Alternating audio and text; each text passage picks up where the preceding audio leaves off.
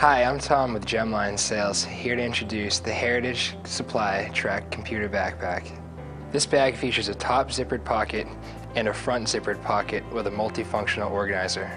The backpack hood is secured with Velcro straps. The large main compartment has a drawstring closure and felt lining.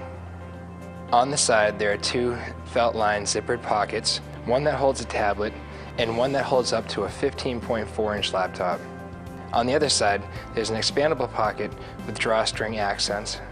It also has padded adjustable shoulder straps and a top grab handle. This backpack would be ideal for campus bookstores or school programs. The Heritage Supply Trek Computer Backpack is available in desert sand and black.